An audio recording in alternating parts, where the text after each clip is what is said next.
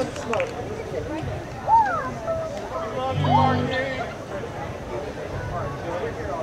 right, our next song for you is called Crusty Glue.